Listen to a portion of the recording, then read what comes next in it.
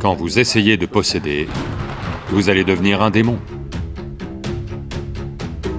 Possédez juste quelque chose absolument et voyez, ça va vous apporter une douleur insupportable. Quand ça vous apporte ce genre de douleur, ça va vous guérir. Quand ce fragment de vie est profondément vivant, alors vous verrez. Tout va bien.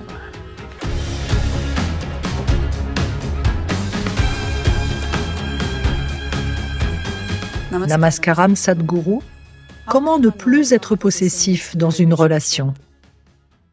N'essayez pas de ne plus être possessif. Possédez juste quelque chose absolument et voyez. Une fois que vous connaissez la douleur d'essayer de posséder quelque chose, une fois que vous connaissez cette douleur, la douleur va vous guérir de la possessivité.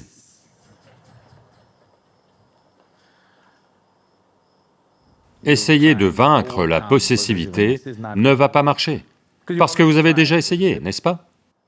Clairement, vous avez essayé, vous avez échoué, et c'est pour ça que vous me posez la question. Posséder de façon absolue, que ce soit votre mari ou votre enfant ou votre... même votre maison ou même votre chien, essayez vraiment de les posséder totalement. Vous verrez que ça va vous apporter une douleur insupportable. Quand ça vous apporte ce genre de douleur, ça va vous guérir. Donc, pourquoi est-ce que vous voulez posséder? Vous savez, en Inde, ou n'importe où dans le monde, si vous dites « quelqu'un est possédé », qu'est-ce que ça veut dire? Celui qui est possédé est une victime. Mais celui qui possède, vous savez qui c'est? C'est ce que vous êtes. Quand vous essayez de posséder, vous devenez un démon. Non, non, non, je l'aime énormément. Mais, oui, avec de bonnes intentions, vous allez devenir un démon. C'est ça le problème de la possessivité. De très bonnes intentions. Et comment savez-vous que le diable n'a pas de bonnes intentions pour vous? Qui sait? Comment savez-vous que Dieu a de bonnes intentions pour vous? Seule la... seule la propagande le dit.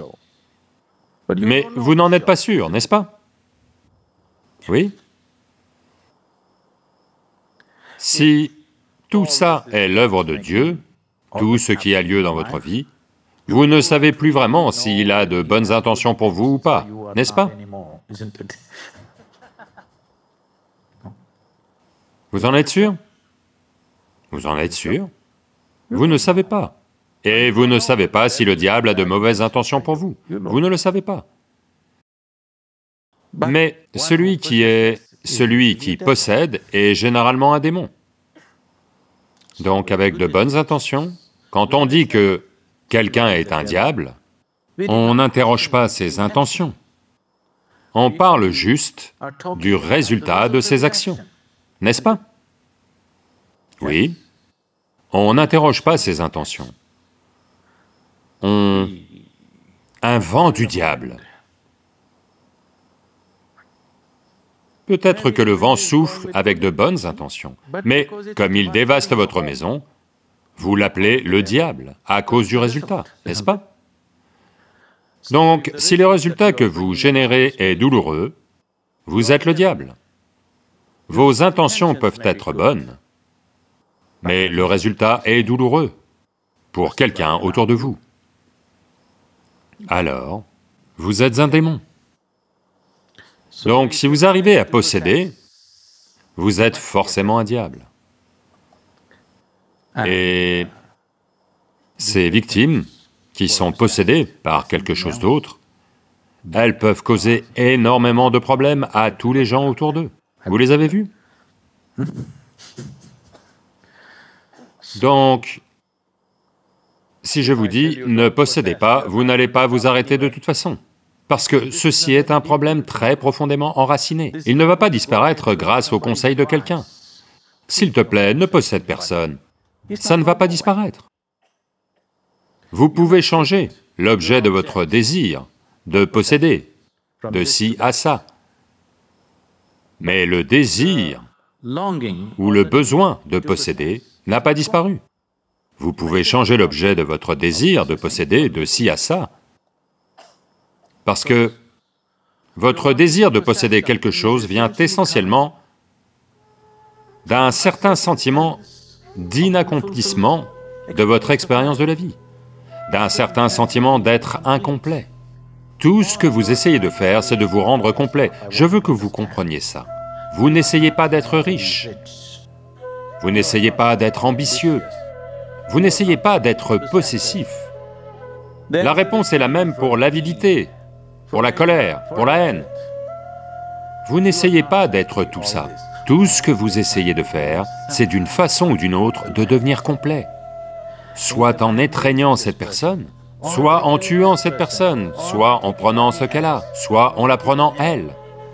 D'une manière ou d'une autre, vous voulez vous rendre complet parce que vous n'arrivez pas à supporter l'incomplétude de qui vous êtes. Essayez très fort, ça ne vous mènera nulle part. Donc tout ce que je vous dis, c'est essayez tout. Essayez l'avidité, essayez la possessivité, essayez l'amour, essayez la luxure, essayez ce que vous voulez.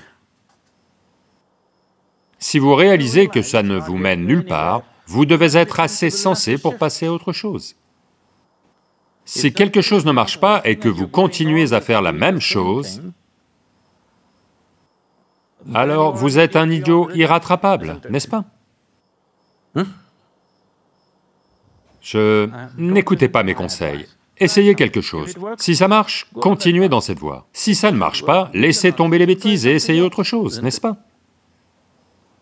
et vous verrez, aucune de ces choses ne va marcher. Toutes vont vous donner l'impression qu'elles vont marcher.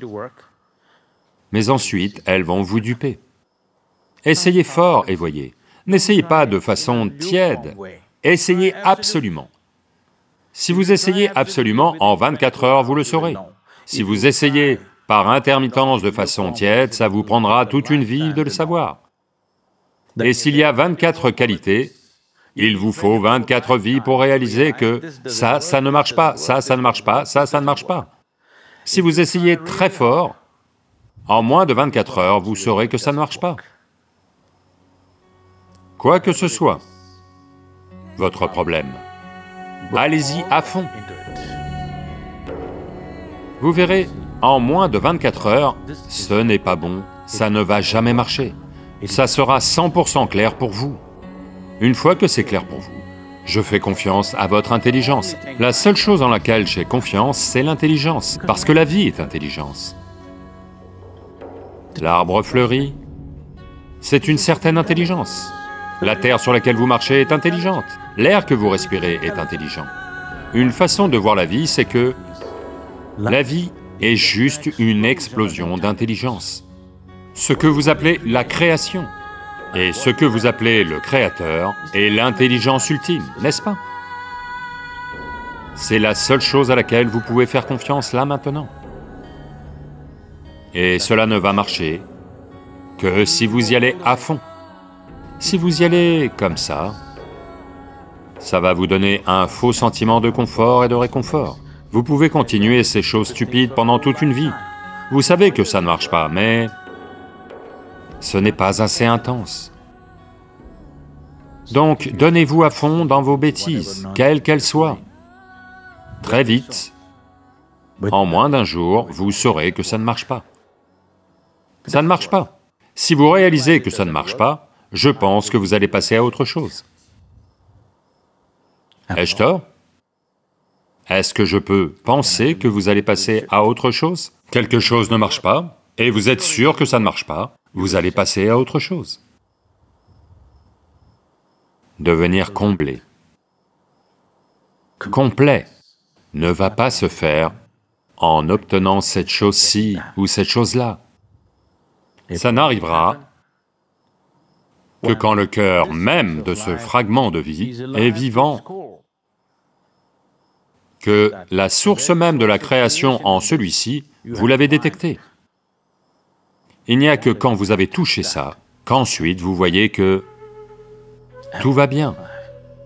Maintenant, vous pouvez jouer votre vie comme un match de foot. Vous êtes là quand elle est là. Quand vous voulez l'arrêter, elle s'arrête. Alors rien n'est un problème.